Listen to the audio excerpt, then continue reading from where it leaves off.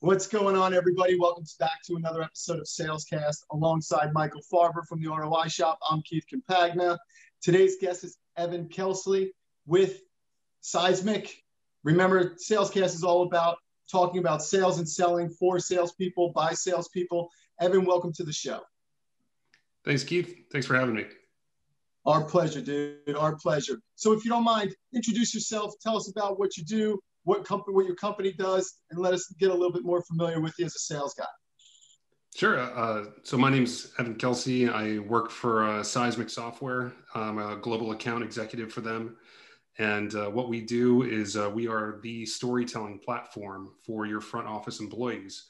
Um, so trying to solve the kind of two age-old issues of salespeople uh, actually have problems uh, creating the wrong, creating the right content for any particular selling situation, uh, making that personalized, doing it quickly, uh, and marketing has a has a lot of trouble understanding what content they create for sales or the field uh, actually resonates with their buyers in what different instances. So we kind of broadly solve those two issues, and uh, it's been it's been a great ride.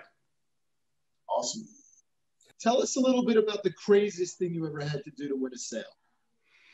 I mean, it, uh, I'm not. I'm not a super. I mean, you could probably tell by my face. I'm not a super crazy person. um, uh, I've got this kind of, uh, I think, you know, Opie Taylor thing going on.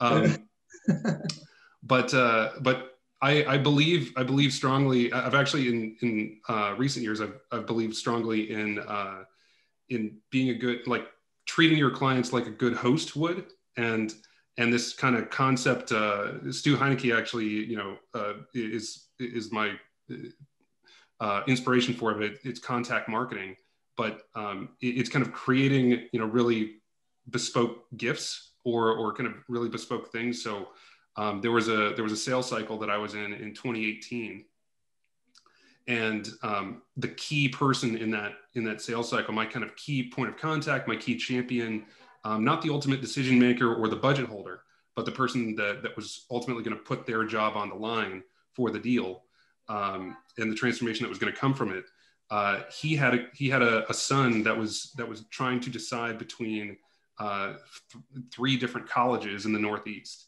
And the minute I learned that, I was I was I was really curious because I, I used to work for uh, a company called uh, Vault.com that that was really into kind of the the space of of how how recruiters think about recruiting talent in uh, college, like out of college. So I so my clients would be like you know the head of the, head of campus uh, recruitment at you know a big four firm or a consultancy or you know what uh, a law firm that type of thing and so um, a lot of the ways that parents think about you know hey this is a great school we should i should send my kid there uh, i should send my kid there um, because it's a great school has a great reputation actually doesn't necessarily line up with uh, the, the data in terms of, well, if your kid is interested in these subjects, it's actually better to go to, you know, these other set of schools over here because they get recruited uh, by these, you know, name brand firms at a, at a higher clip.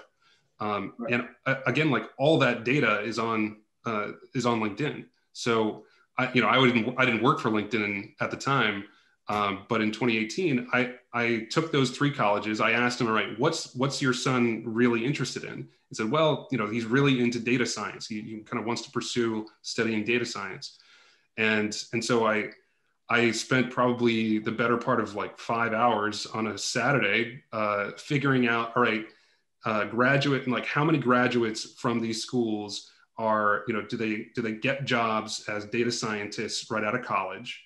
and how many how many graduates from these schools still are in the industry as you know data scientists like five ten years after um, and it turned out that like one of the schools in particular was was far and away had the most alumni uh, in data science you know coming uh, coming from so, so i said you know he, he needs to seriously consider this school because that's a that's an alumni network he can tap into you know right like directly from day one starting on campus that's that's that's awesome. That's that, yeah, that's amazing. That builds a lot of credibility. It shows character. You hear that, salespeople.